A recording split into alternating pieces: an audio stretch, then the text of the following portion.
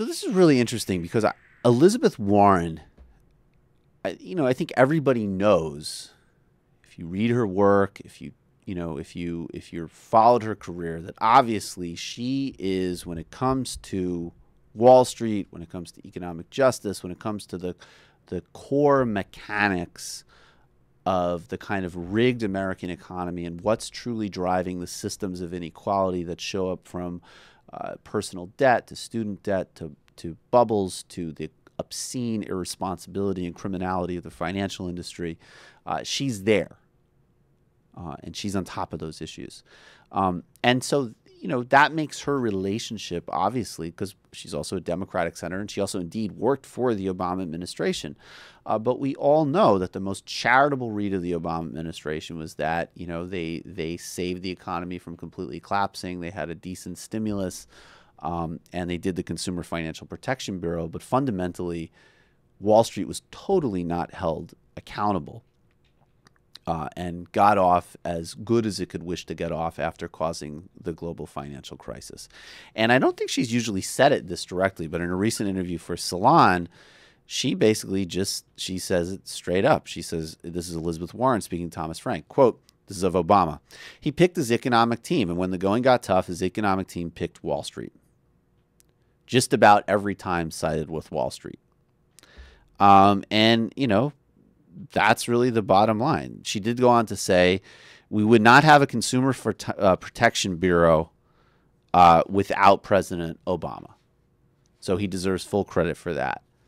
But the bottom line was was that when they came into office, there was the stimulus, there was the auto bailout, there were some things that did stop the bleeding, but fundamentally did not protect people from losing their homes, there was not a broad bottom up stimulus. There was no criminal accountability for Wall Street. There is financial reform, which probably is better than some people realize, but is not systemic and doesn't speak to radically reforming and doing deep reform in the American economy and the financial sector that we need. And Elizabeth Warren is laying this straight out.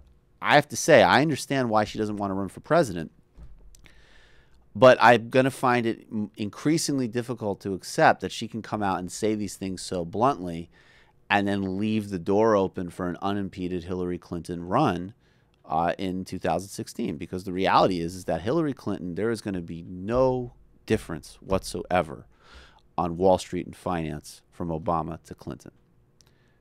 Uh, Hillary Clinton is incredibly connected with the financial sector. She'll have a little bit of a different rhetoric on it. I think she does on certain domestic issues. She's happy to have, uh, you know, implement some liberal policies if that's what's available, uh, and and that's fine. But there does need to be at a presidential level somebody truly, truly making this case because this is the fundamental issue that we face. This is the driver of inequality. This is the driver of everything from a radical critique about how we organize our economy and our system and our lives, and even a good old fashioned, you know, but Bill Clinton, when Bill Clinton first ran for president, he said it's about having America work for people who work hard and play by the rules, right? It's a very, you know, it, it doesn't get more kind of simple and basic and, you know, middle America than that. But as long as we have these financial arrangements and as long as we have a sector that's fundamentally unaccountable, that's not going to happen. You're going to keep drowning people in student debt. Wages are going to continue to go down.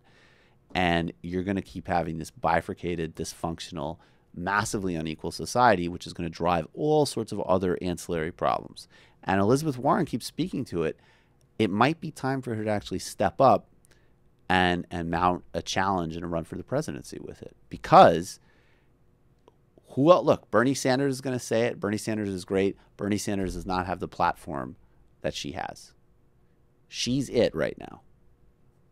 She's a great senator. I think she'll continue to be a great senator. But someone needs to be out there making that case, not as a protest and not as an issue raising, but as a I'm going to be elected president to take on the biggest challenges of our time. And that's her right now.